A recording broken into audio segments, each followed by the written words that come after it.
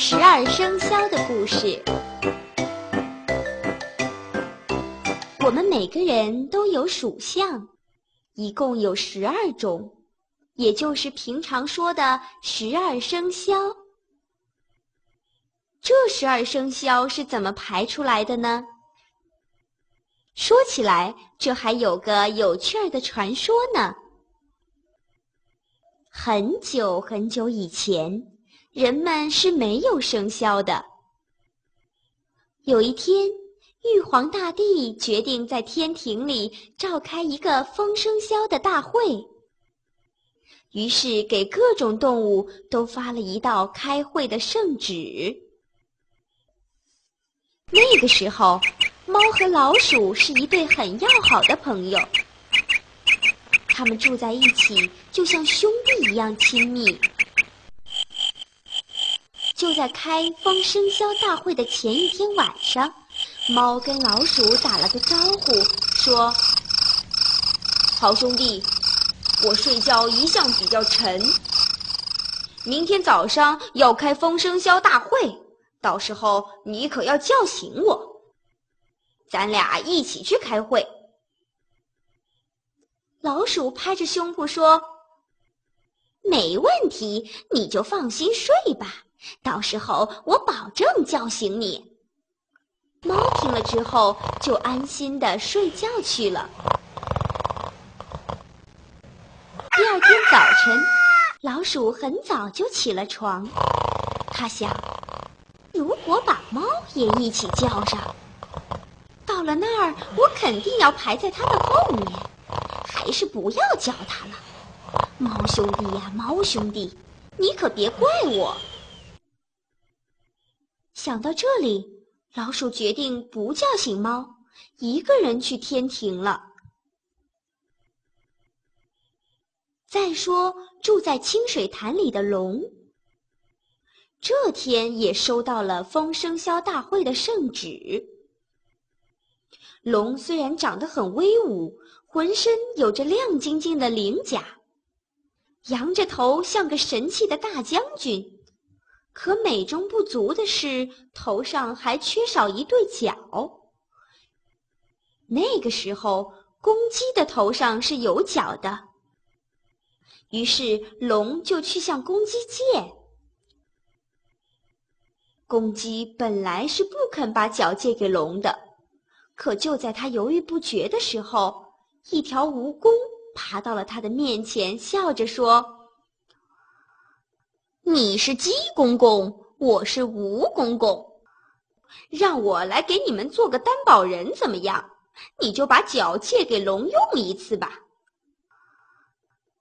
公鸡见有人做担保，就放心的把脚借给了龙。风生肖大会开始了。各种动物们都到齐了，场面热闹极了。玉皇大帝在动物中选中了牛、马、羊、狗、猪、兔、虎、龙、蛇、猴、鸡、鼠这十二种动物来作为人的生肖。到了排次序的时候。十二种动物就争论起来了。要知道，玉皇大帝的子民们对于排次序这个问题是非常认真的。如果要开会讨论，恐怕开上一百天也没有结果。所以，玉皇大帝宣布：你们中间牛最大，就让牛排在第一吧。大家都同意。就连老虎也没意见。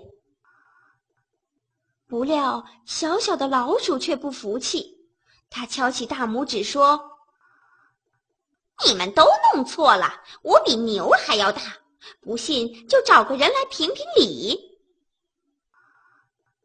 动物们听见老鼠这样说，全部都哈哈大笑起来。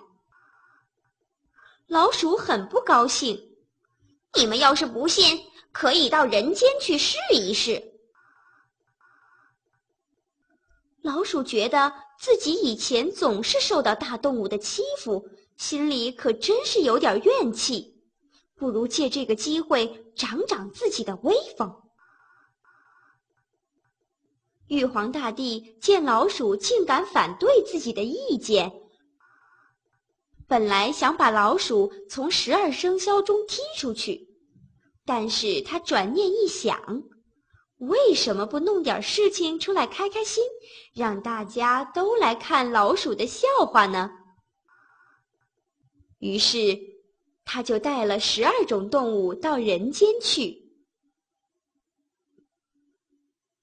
没想到，当牛在人们面前走过的时候，人们只是说：“这头牛长得真肥，这头牛看样子挺能干活。”可就是没有人说这头牛真大。轮到老鼠表现了，它一下子跳到了牛背上，拼命的鼓气。把肚子鼓得大大的，人们一见到牛背上的老鼠，都惊呼起来：“快看呐，好大的老鼠！”玉皇大帝亲眼看到了人们对老鼠和牛的评价，也只好再次宣布老鼠为十二生肖之首。老鼠做了第一生肖，那个得意劲儿就别提了。他昂首挺胸地走回家，经过猫的门前时，刚睡醒的猫糊里糊涂地问：“呃，今天不开风生肖大会了吗？”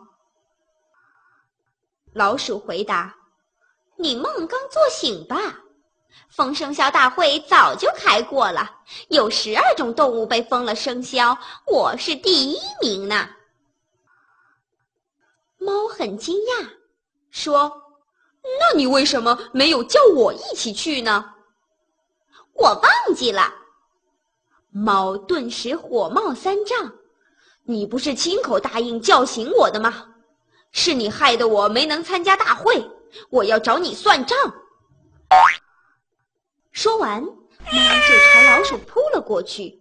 从此以后，老鼠就成了猫的敌人。再说，公鸡一肚子的不高兴。